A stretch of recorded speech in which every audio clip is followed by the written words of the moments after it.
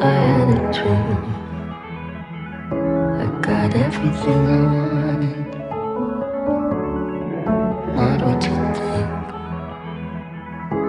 And if I'm being honest,